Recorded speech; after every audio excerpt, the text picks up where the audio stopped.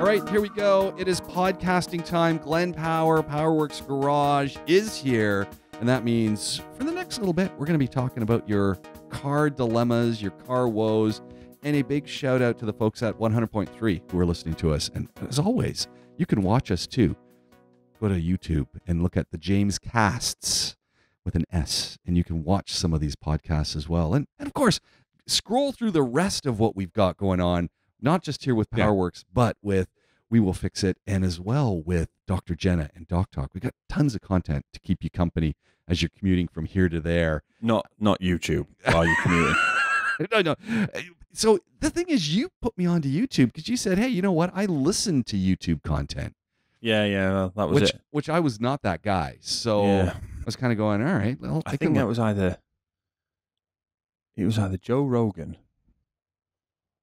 Yeah, I think it was Joe Rogan. I think it was Joe Rogan that just got me listening to the to listening to things on YouTube. Huh. And it's quite interesting sometimes watching people when they're talking about, especially when it's something like, you know, a complex issue, yeah, and you see you see, you see a lot from body language, don't you? yeah, You yeah. a lot from how some, Absolutely. some people, and when you're getting It's people the it's the faces, grilled. and you know, if you're showing stuff, you can sort of look over at the cameras. You can get yeah. a get a feel for things, and and you just kind of forget the cameras are there. So you know, you can make I sure. don't. I, I stay. Don't look at the camera. Don't look at the camera. If I don't look at the camera, it can't see me. no, it's it's when you play it back and you see, oh, scratch an itch. Okay. Yeah. Oh no. You saw me pick my nose. oh no, not again. Yeah, no, it's it's fun. So uh, what's what's going on in the shop? Actually, before I say what's going on in the shop, I mean I know what's going on in the shop. It's looking it's looking pretty pretty awesome. You sent me a nice little make you a little bit homesick picture of a uh, Chevy, GM. Yeah, GMC Sierra. Yeah. Man, Just left yesterday. Actually, else you could have we could have done a walk round on it. oh man, that that's Canada in a that's right there. That's Canada in the U.S. Yeah. at its best. So it was a Canadian one from These are from Montreal. Montreal. Oh, yeah, okay. and it was ordered. So it was a, a a Sierra with a crew cab. So that's the four doors. Yeah. And a full size bed. Which which you were saying not uncommon You here. can only get in North America apparently. really? You can only order that in the North American market. Okay. And then this was ordered specially, obviously. All right. In 2021 Okay. for a dealership in Montreal. And then the customer defaulted on their first payment. Ah, so they took it back. They- So they, General- showed up with the tow truck and they said Basically, it's yeah, ours. General Motors. No, they didn't even receive it. Oh, okay. Default with the first payment. yeah, sat yeah. in the lot. it took so long to to order. I think the payment plan kicked in before it actually arrived. Okay. Uh, so General Motors gave the dealership a support package, which basically allowed them just to sell it to get rid of it. 'cause no one's going to buy it. It was way, way, way, way, way too high price. well, you were showing. You were walking around. This thing was super spec'd. Yeah. So um, they got the they got the car and managed to sell it to someone who's exported it here. And then it was sold out of a Ras Al Khor dealership to one of our customers who brings his Tesla in. So he's kind of offsetting his carbon footprint, you know, with his with his at least with his commute. Um, then he got the the roof tent put on it, so it had a big Right. big roof got a camper on it. Yeah. and the the bed cover, which was great with built-in storage units, the roller drawers. Those roller drawers, like, there must have been the capacity on them said 85 kilos. There was easily 50 kilos in each one, and I'm talking just one finger, and it would Yeah. just pull and roll out nicely on a slow stop. I've, se- I've seen folks that have those full of you know their Seven Ups and their their Yeah. sprites and stuff, and they just roll it out. And Yeah, there this had go. more practical stuff in. Okay. I mean, he does use it out in the desert. It only done when he got it. It had 47 miles on it. Oh man. Literally brand new, just a year old, and it had been passed from pillar to post because nobody wanted to buy it, Yeah. including Wow. the person who ordered it. Well, I, w- I w- I was looking at, and the first thing I'm thinking is fuel prices, and that thing is going to be brutal Yeah, well, at I, fuel pump. I was excited when he said he was bringing it in. It was from Canada because I thought it might be diesel. Yeah. Oh yes, diesel Yeah. proper engine. Yeah. But no, it was the six point two. Not that there's anything wrong with that, but you know we do get like we've got a couple of Jeeps that I've seen from Canada that are diesel, and there, there is quite a taste for diesel over there. But Mm. it wasn't. It was the V8 petrol. But still, you know, it was a really really cool vehicle. It- really it- cool it's just giant too. And this was the other thing when I was looking at it, I was just going, um, can't get that thing into Mall of the Emirates. You're gonna No. have No, well, uh, ground floor only. Yeah. ground floor. You know, anything where you've got to go into a basement, Yeah. forget it. I mean, it was it's one of those situations. I was kind of going, yeah, this is going to be a, a crazy machine. So Yeah, well, it's used it's used off road. I mean, the, Yeah. like I say, the the guy has that which they use, and he says they use it quite often and Okay. camping it, and with the roof tent on it, which is a good. The roof tents are the way forward, really. yeah, They're, Yeah. they're a good addition to any sort of I camping mean, vehicle. those have been really popular wildernests and things Yeah. in California and other and other parts of the U.S. for a long time because you're off the ground making use of. Oh, and that's why they have box cap uh, uh, over your box. You've got your your caps Yeah. where you can make a you know storage area. But they, those things have been around. They just seem to really start to kick off here recently in the last five years. It so. just makes any f- any physically larger vehicle is able to be a camper then because the Yeah. tent's on the roof. As long as the vehicle's big enough to to carry it on the roof and it's got enough grunt to move around with it, and you can then climb onto the roof, you're good to go. So they are a good addition to an, any sort of vehicle. And like I say, they just pop out as well. So it just pops out on the roof. It's not like you've got to put poles up and yeah. this way and that way. Oh no, the, the lining's inside out. Oh, we forgot the the waterproofing. All this sort of stuff. It's not. It just pops out. Of But the and that's the thing. You don't you don't want to have any issues with this stuff. No, exactly. So Keep it simple. all good fun.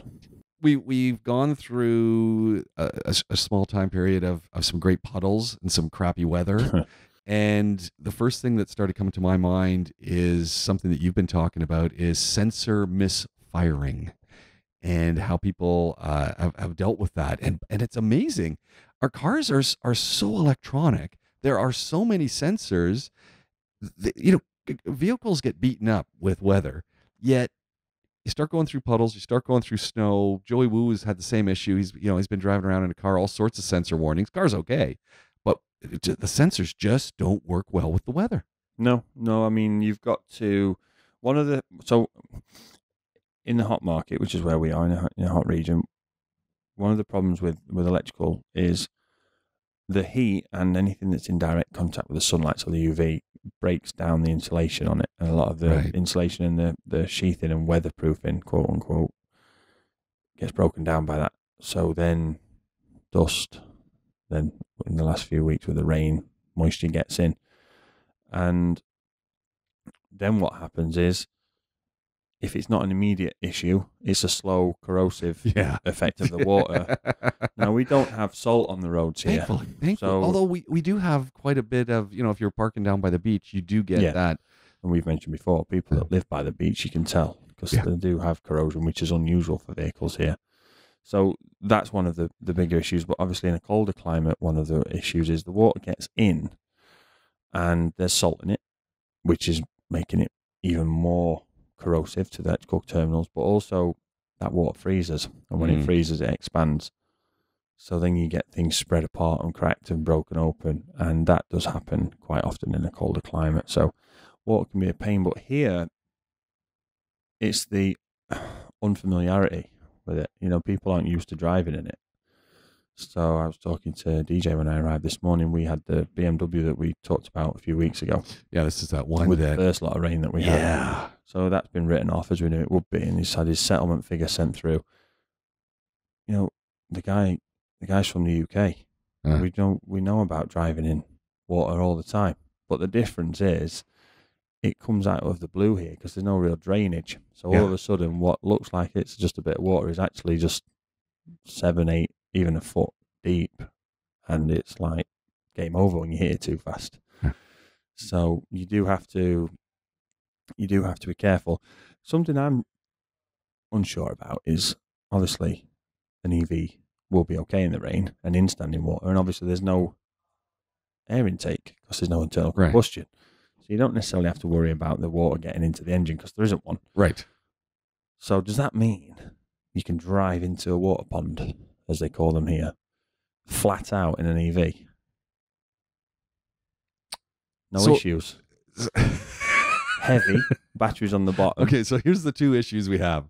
First of all, I don't. I mean, yeah, you're not. You you won't have those air intake issues. You won't No. have some of those those challenges. But any vehicle that you drive flat out into a puddle with, you're going to have the potential issue of one, your brakes are going to be soaked. Yep. So there's no stopping. Yep. Two, your brakes are going to be soaked and you could hydroplane. So now there's no stopping anyway, but your brakes aren't working well.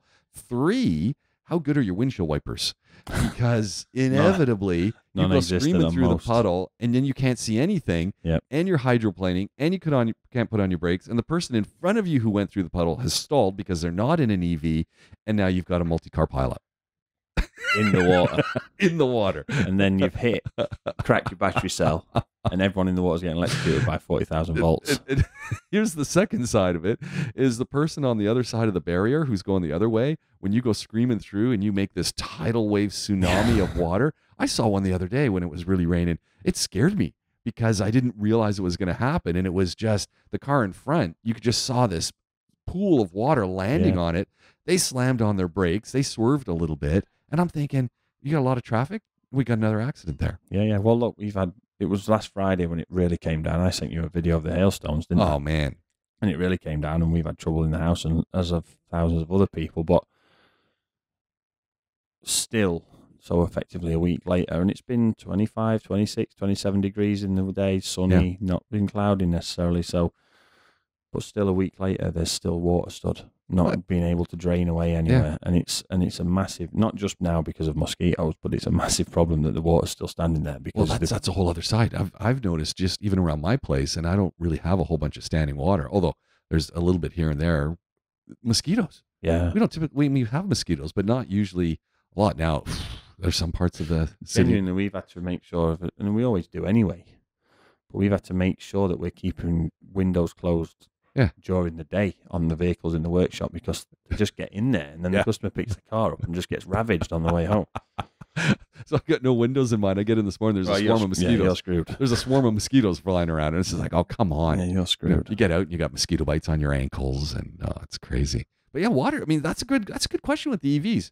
I'd love to hear from some EV owners who've been They out can go there. through. I remember. I think. You know, I, I've seen I've seen them go through, and they are designed. As I say, they sell them in Europe and North America, so Well- they're obviously made for the wet. But But here's the question: driving off the factory, driving out of the showroom. So you got two. How? What's the what's the longevity of all the seals on everything? Because we know on a regular vehicle, yeah, that longevity, you know, you get good five, seven, ten years maybe. But after that, depending on heat, depending on things, those seals on on everything start to go. How much of a, a seal breach do you need on an EV before you start getting some problems? Yeah, I mean it's EVs that started it. Yeah. But now because of the sort of the Tesla kind of had the Tesla and their control screen hmm. had the it's had the iPhone effect with mobile phones all looking the same now. Like Yeah. all vehicles now have everything through that one screen. Which means if you get water inside and have an electrical issue, you can't do anything. Yeah. You know, you can't turn you can't even turn your ignition on with a manual key. No. Even the ones where you Oh, put really?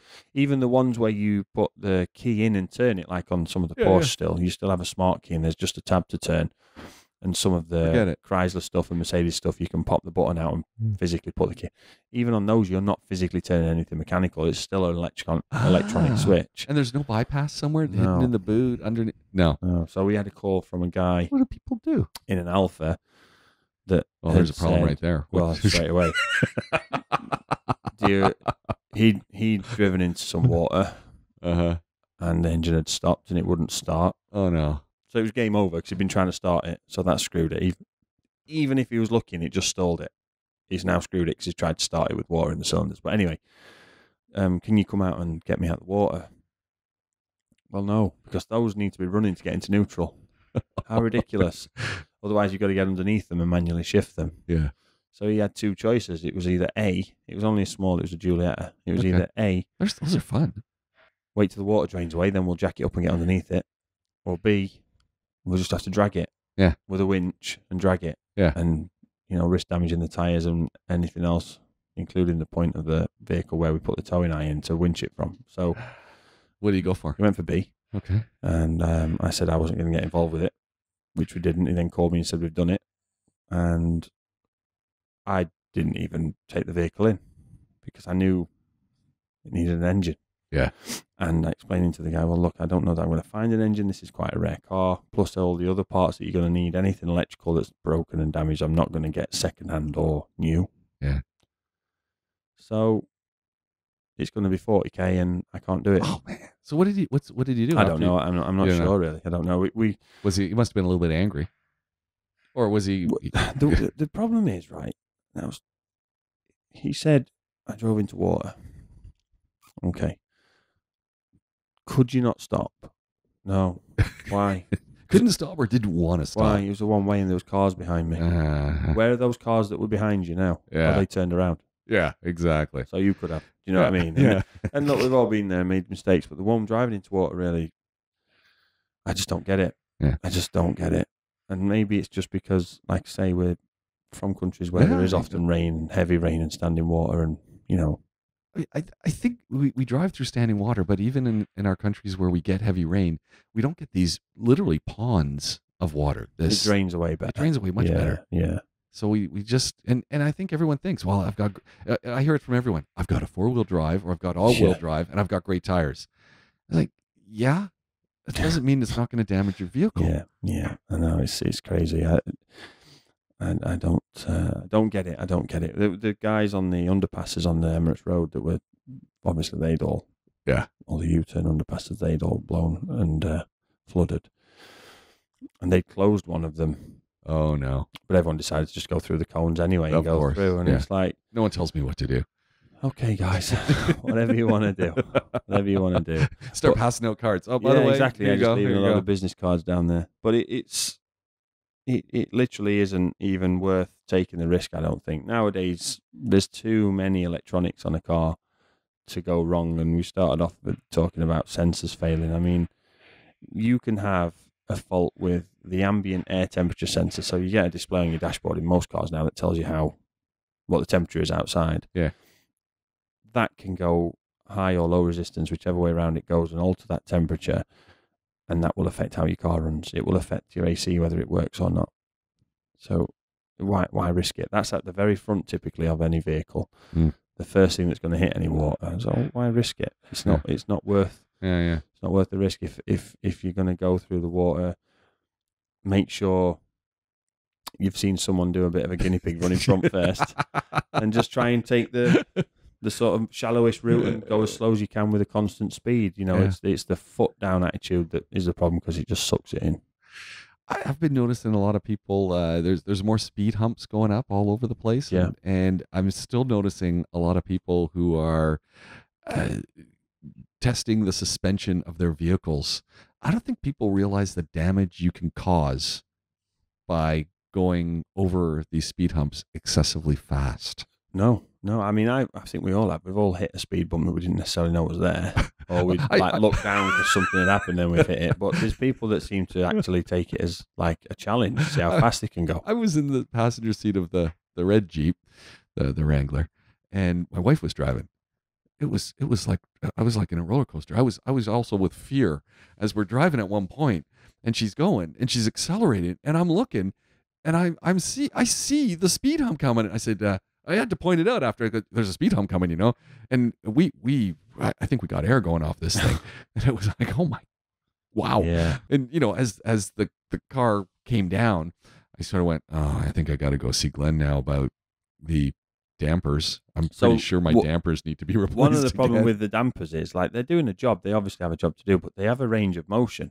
Yeah. dampers might also be known as shocks Yeah, yeah. to other to Yeah. others So the range of motion is not necessarily that they can't go as far as they need to go, but they Yeah. haven't been going that far. So Yeah. as the damper, as the piston, effectively what it is, it, it slides into the body of the damper. Every time it goes in and out, it's so well sealed that it effectively cleans it. So it's, it leaves a bit of a. Uh, it, it does wear. It does Okay. wear, Yeah, and we're talking i mean it's about got rubber it's got oil yeah, we're talking about you know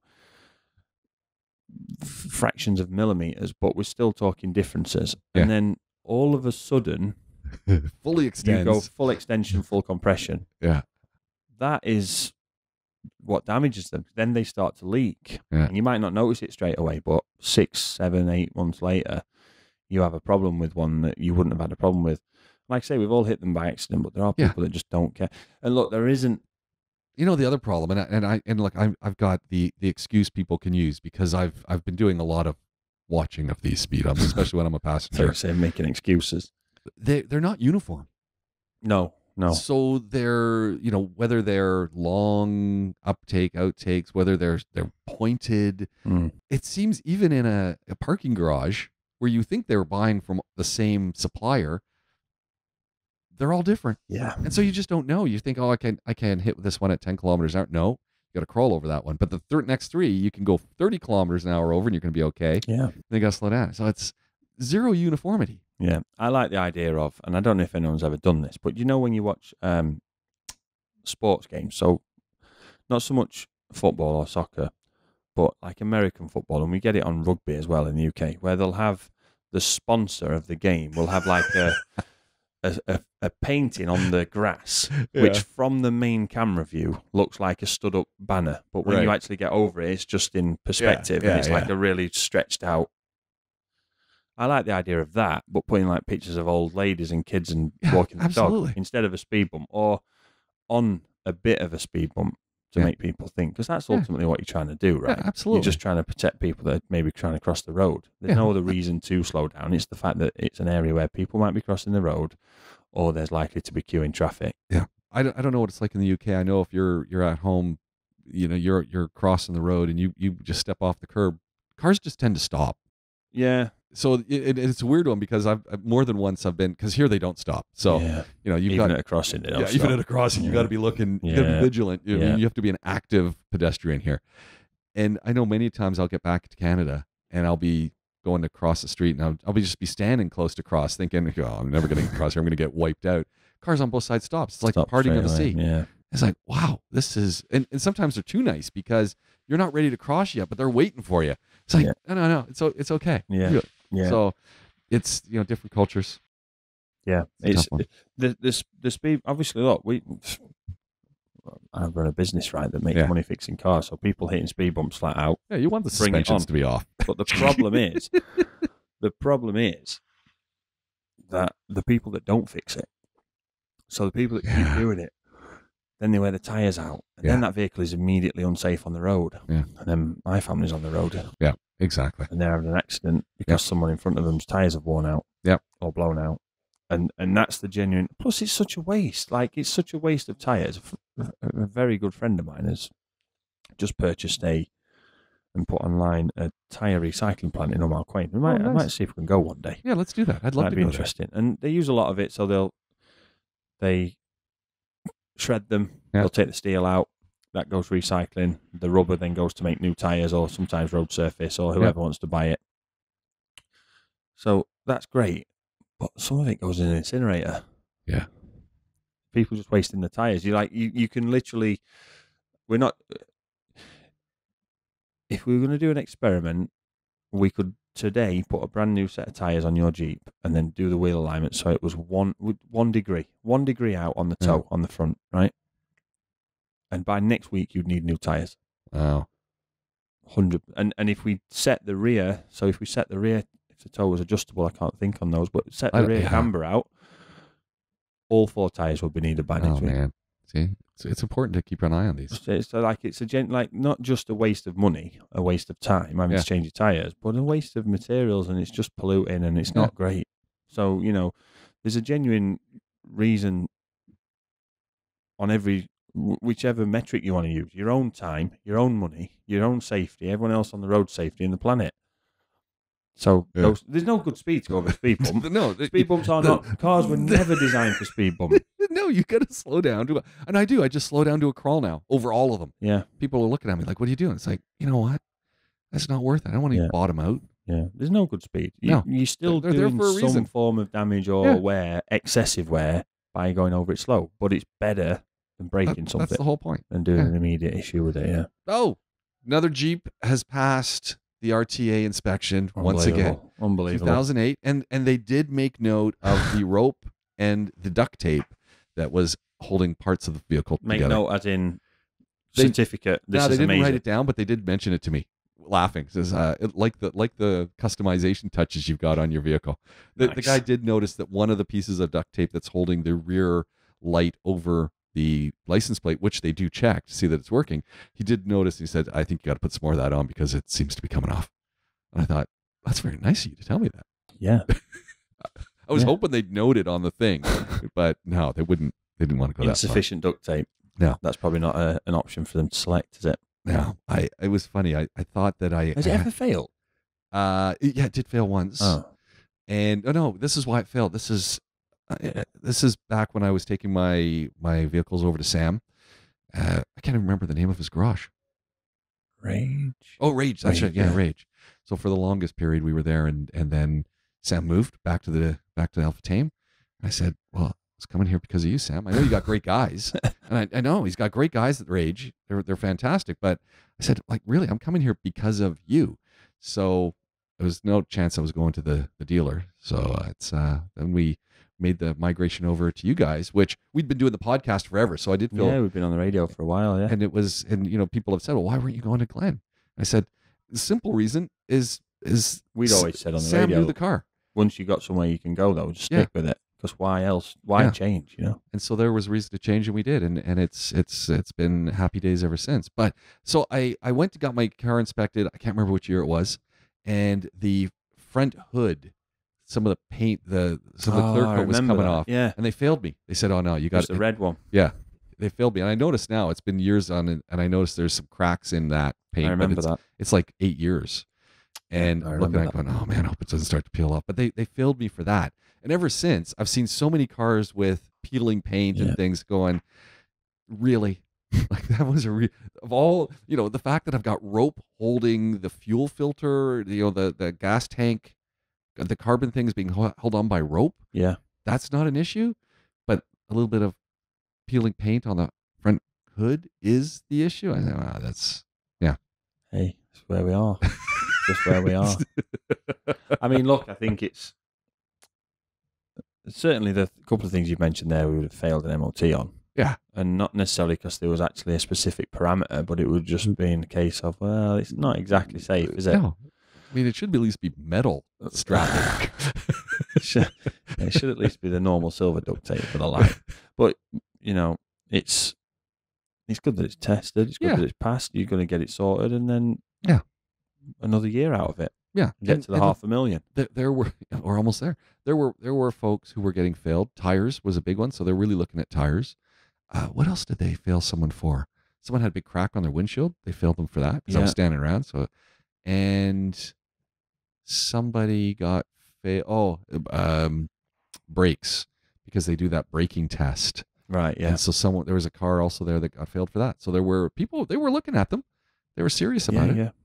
Yeah. And it, although there was this funny one because after you know you, you get your registration card, which I don't actually know if you need, but the physical card. Mm. And so I've, I've done all the stuff. I've paid. I'm then I got to get the car, and the guy says, "Oh no, you got to get another sheet of paper. You got to get another ticket for that." So I go get the other ticket. And I'm looking. It's like 20 people in front of me. I'm going. I just need the card. Uh, And I'm look. I'm so I'm standing there watching, standing Right, behind right. one of the, the folks watching, and we're talking. They put me in the line to get my card, where you go if you're doing a, a car transfer or Oh, whatever. yeah. And I'm going, this is uh, that's all everyone's doing. I'm going to be here for hours. So I walked over to some other guy and says, no, I don't do that. Then I walked back over to where the cards come from, waiting for the guy, hoping that, you know, there's some way. And he says, no, you got to go get that. And the, the, the next counter that I'd gone to, the second one, hoping for some relief, the guy flags me over and he says, yeah, look, I'll help you. And he just goes, click, click, click. Okay, go. it's like, I said, the system's working because you do all of your registration online. But I also said the system's broken because that one little step shouldn't take so long. Should be just kind of an automatic. Mm, yeah, I mean, you get the you get the soft one on your Yeah. RTA profile. yeah, you? exactly. So. I've got it. So they don't. And I, and I said to the guy, "Do I really need this thing?" And he goes, "In Dubai, not so much. Oh, as soon as you start getting out of Dubai, yeah, maybe." yeah, And I went, "Okay, yeah. Yeah. well, The, I got it." the United Arab remember. Torque on older vehicles. This is something that disappears. Yeah, and and you know you might have got your your Nissan Sunny brand new, and you've been driving it now. you've got it up to you know half a million kilometers, and when you first got it, it was a sports car. You could be off the lights, and you could pass people on the highway like it was no one's business.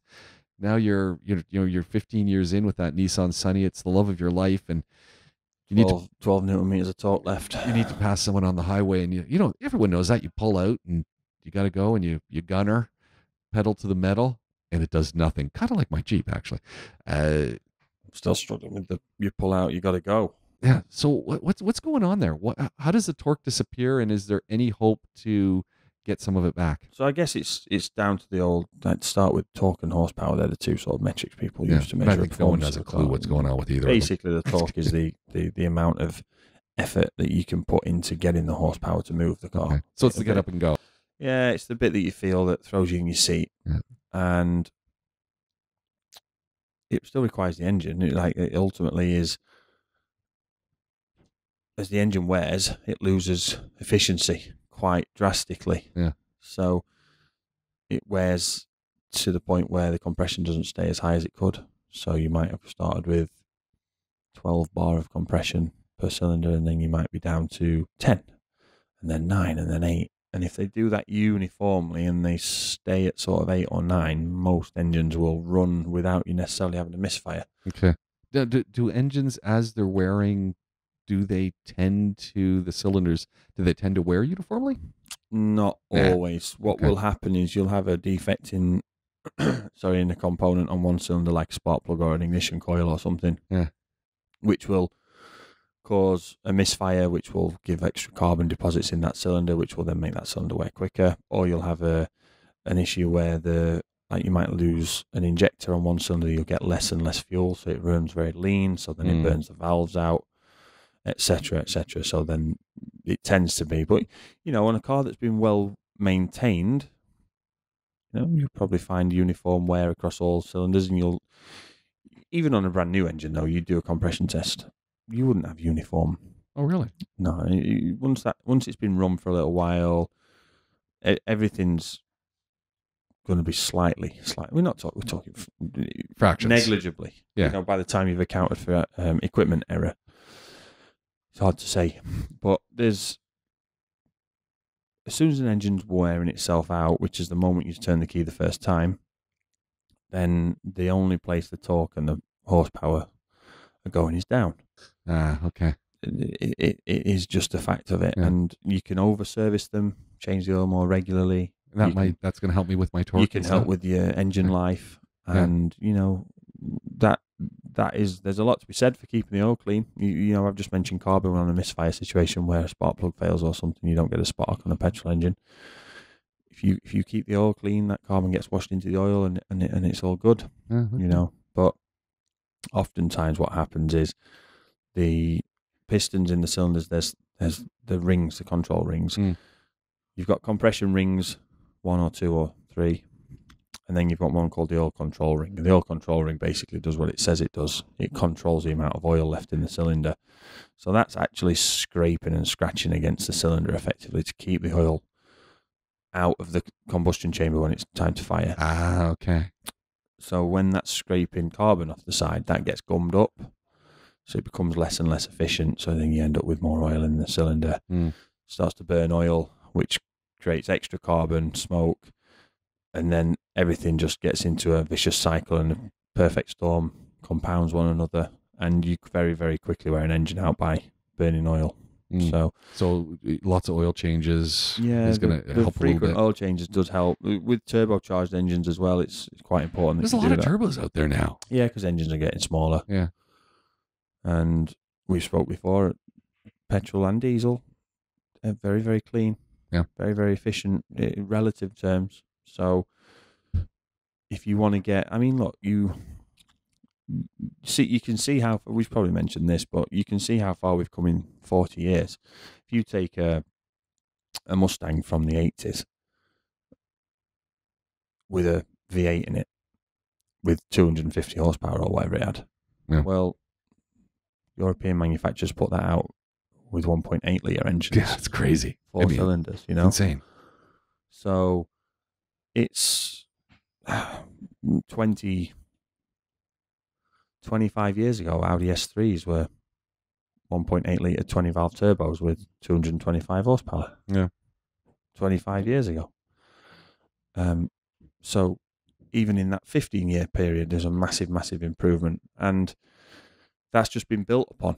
So now you, you can get one litre displacement three cylinder engines with a turbo on that will produce 120 horsepower in a small, like a Ford Fiesta or something like that, Yeah. which is perfectly fine.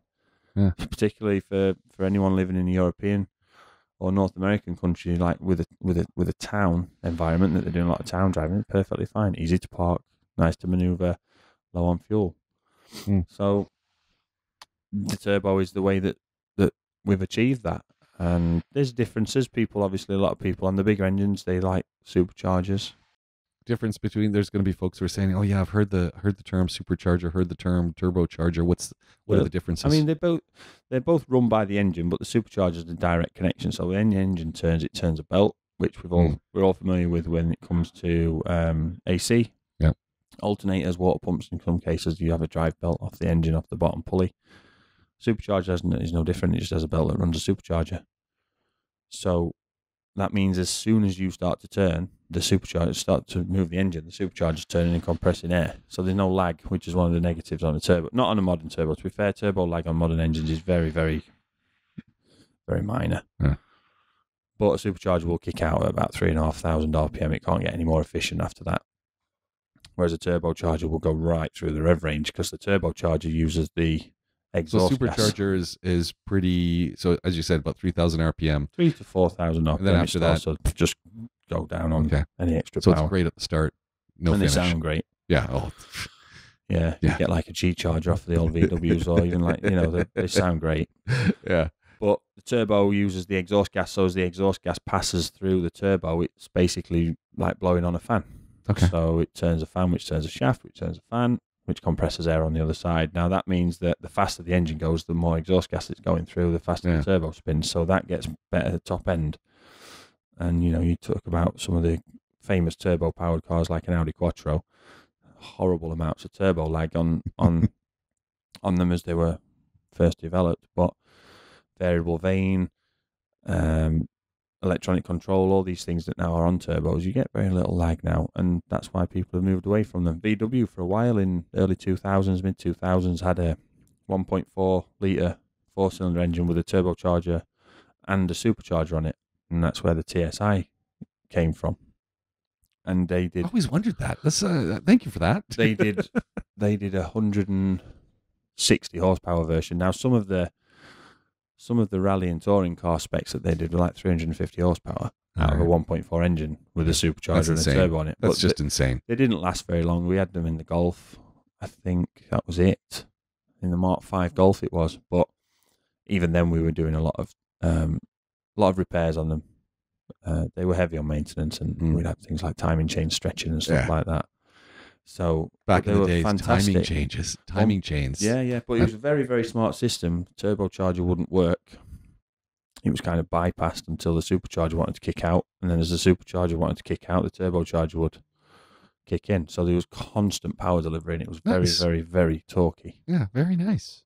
Yeah, The, the another thing I want to jump in on just to, for a second is airbags. And uh, a friend of ours got in touch with you guys because there was a rattle. She she was she, you know just noticed something. You know, maybe there was other things going on with the car, I'm sure as well. But you noticed this rattle, this sound, and and as a car owner, you notice when your vehicle starts to change and when it starts to age, and you just notice stuff.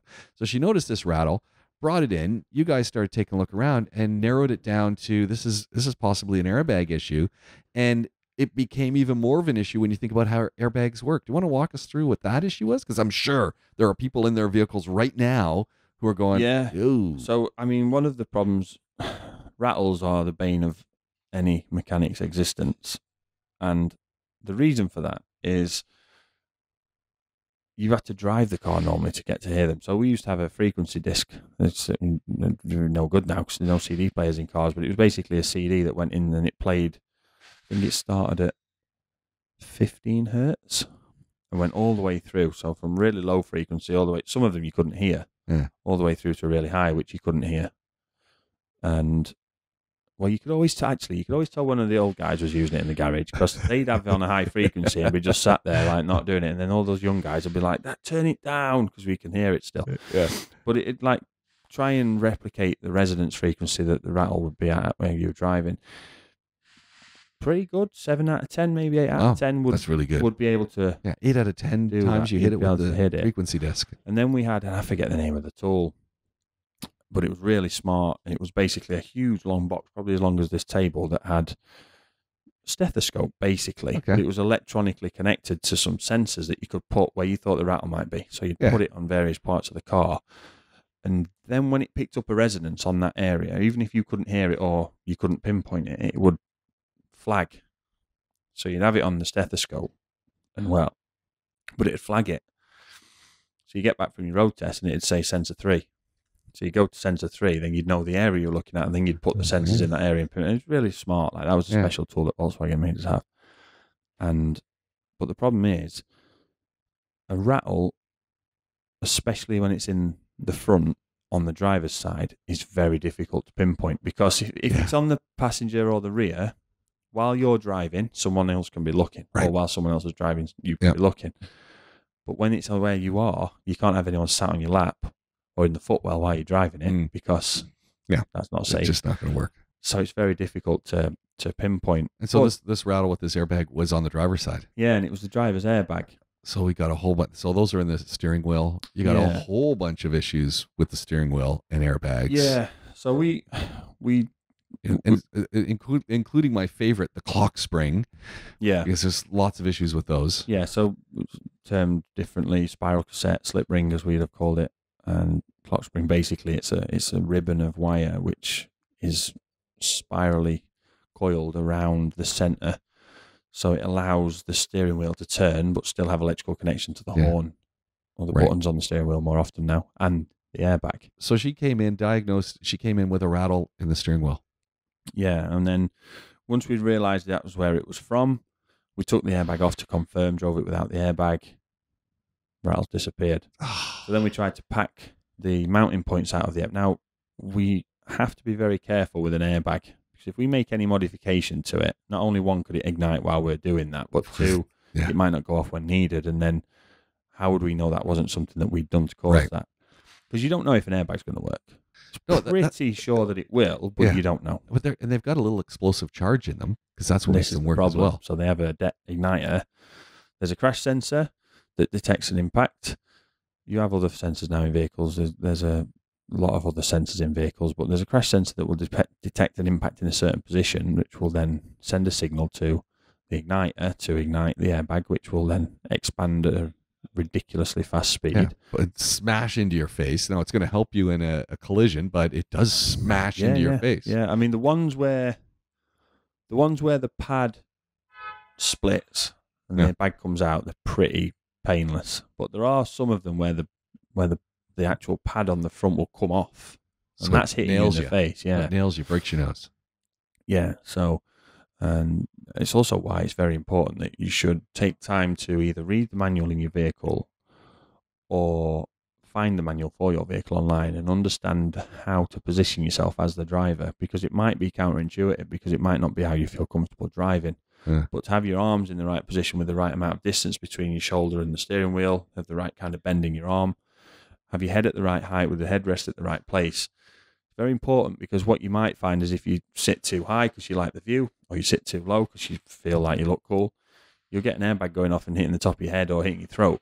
Yeah. Where actually it's supposed to be there for your face to cushion the whole blow as you go into them. So Something we don't think about because you got Yeah, the yeah, you got you the it granted, drivers yeah. and and the purpose of that headrest because a lot of times people get into vehicles and they get them all sorted out the mirrors the chair the seat you know the back and it's like hold on got to make sure the headrest is in the right position because it's not just for resting Mm. if that airbag goes off which you know and I think 99% of the time they don't but if you were that 1% because you're in that uh, un, you know no one plans a no, collision exactly, yeah. you're in that 1% of time you want to make sure that everything is Yeah, the headrest will stop you getting whiplash in, a- Yeah. in an event of being rear-ended, and and the problem is in most collisions, if you hitting the back of somebody for your airbag to go off, somebody's then going into the back of you. Yeah. Now you're not necessarily going to be that worried about it at the time because you just hit the car in the fr- in, front Yeah. of you. But at the point of you stopping instantly and then being hit from behind, your head's going to snap back, and that's whiplash, and that can that can cause brain injury actually. So yeah, concussion from concussions, yeah, whiplash. for sure.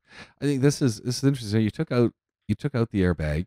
You then thought, okay, we're going to see if we can pack it because well, of this we thought maybe where it mounts on the springs because they're spring loaded.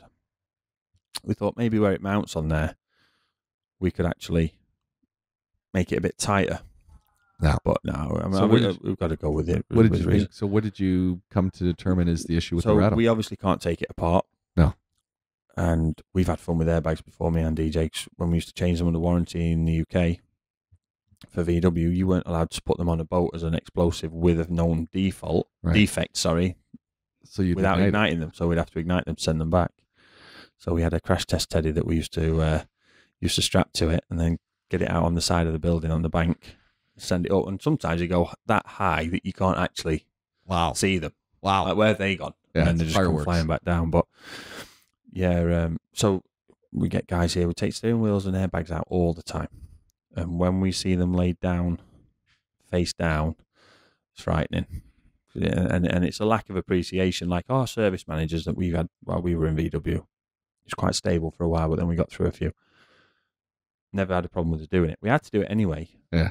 But they never had a problem with us actually setting it off that way because it allowed any apprentice or anyone that wasn't aware of this is what can happen if you leave it the wrong way around. Because you, with an airbag, static charge Oh could set it off. never think of that. So if you take a multimeter, for example, Yeah. on a multimeter, if we've had anyone that's ever used one, you can test resistance of a circuit, the ohms rating of a circuit. And to do that, it puts a very, very small current. Using the internal battery, it puts a very small current through one wire and waits to receive it Yeah. on hmm. the other wire. And depending on what's happened to the current, it calculates the resistance. So if you test an airbag's resistance, which most of the time a fault on an airbag will be resistance, Hmm. if you test an airbag's resistance with a multimeter, the potential is that you will then ignite it because you're giving it a current, which is sufficient enough to Oh, do such a thing. man.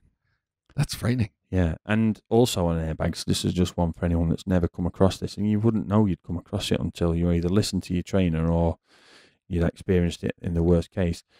If you get a fault on an airbag that says short to live, stored in the memory, do not erase it.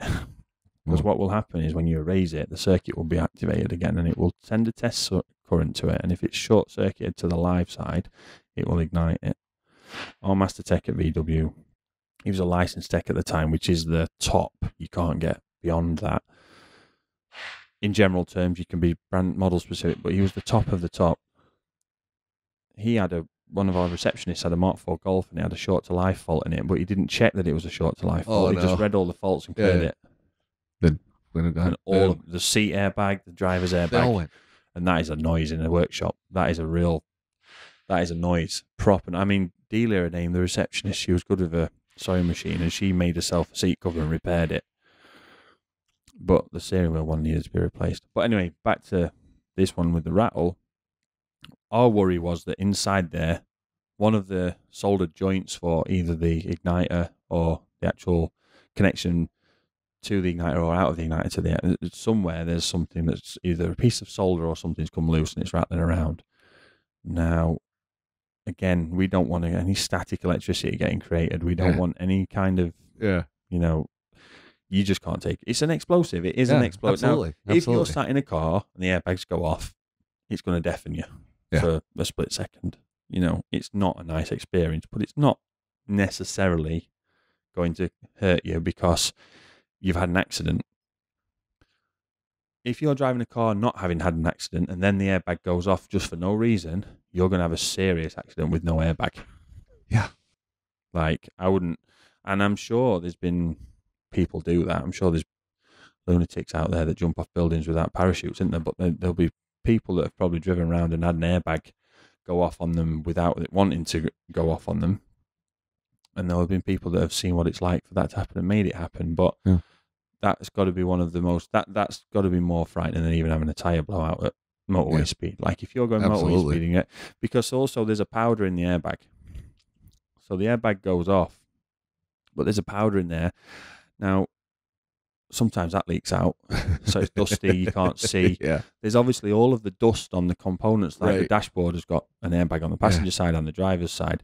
All of the dust that you didn't think was necessarily there, that's gone because it's something's accelerated from Yeah. zero to a million in a split second.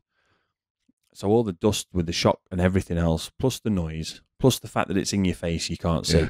plus the fact that if it's thrown anything off the pad at you, Yeah.